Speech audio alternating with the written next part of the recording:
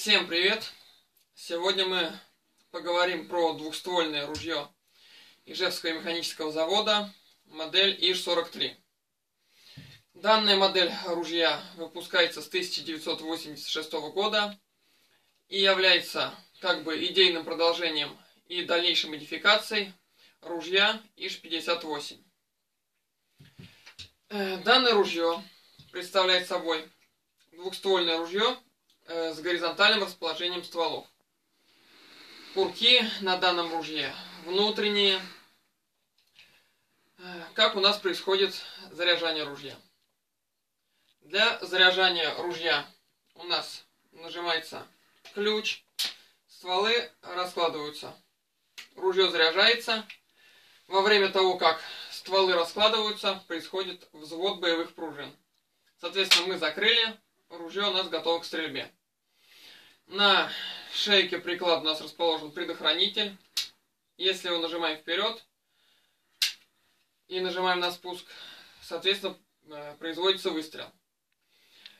Э, на данном ружье имеется возможность безударного спуска курков. Что для этого надо? То есть, например, мы пришли на охоту, ружье зарядили, ходили, ходили, ходили, дичи у нас не попалось. Нам надо разрядить ружье. Мы, опять же, раскрываем ружье, извлекаем патроны. В разложенном состоянии нажимаем предохранитель вверх, нажимаем одновременно оба спуска и схлопываем ружье. После этого у нас боевые пружины спущены. Соответственно, ружье может храниться длительное время с невзведенными пружинами. То есть э, никакого вреда, как при хранении с, э, со взведенными курками, ему не может произойти. Э, что можно сказать конкретно вот про это ружье? Данная модель выпущена в 2006 году. Промаркирована еще серией ИЖ-43. На данный момент э, ружье выпускается под маркой МП-43. Лично на мой взгляд, потому что имею ну, достаточно опыта в сравнении этих ружей у друзей, знакомых, охотников. В сравнении ружей ИЖ-43 и МП-43 э, на мой взгляд, оружие более ранних версий серии ИШ выполнено более качественно. Во-первых, сверловка стволов на большинстве моделей намного лучше, чем на более поздних. То есть даже выбрать хорошее ружье в магазине раньше было намного проще, чем сейчас. Сейчас это ну, весьма большая проблема при выборе ружья. То есть кривые сверловки стволов, планки бывают плохо припаяны, плохая подгонка дерева к металлу. Э, что еще можно сказать?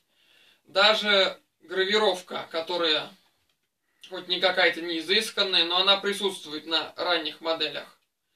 На э, современных ружьях МП-43 ее нет вообще. То есть вся колодка верх стволов все сплошь, сплошь гладкое и ровное. По бою данного ружья. Данное ружье отличается очень хорошим боем. Даже бы, скорее скажу, отличным.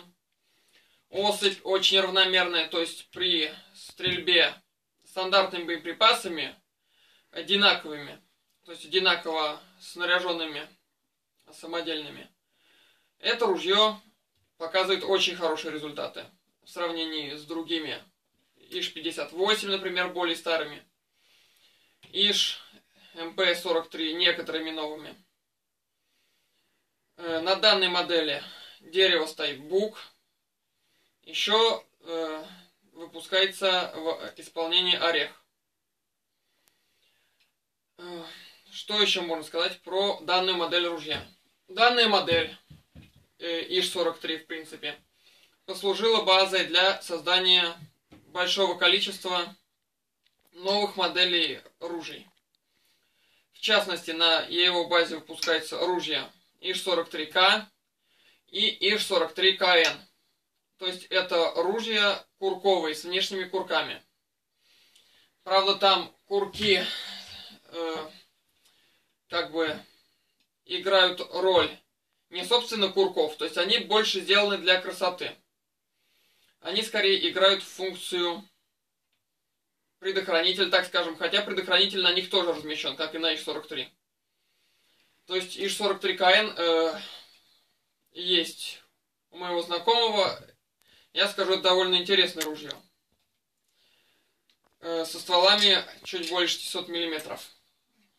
Также на базе данного ружья выпускается единственный, пожалуй, довольно массовый ижевский штуцер, двухствольный, горизонтальный, МП-233 Артемида. То есть, это довольно популярное ружье. Большинство охотников его используют в тех или иных модификациях. И лично я могу сказать, что это ружье можно применять как на любительской охоте, так и на промысловой, так и брать в какие-либо экспедиции различные. То есть это хорошее, надежное ружье, которое точно не подведет. Что еще стоит э, от себя добавить несколько таких небольших замечаний. Первое – это разница в воронении, так скажем, старых годов и в новом воронении.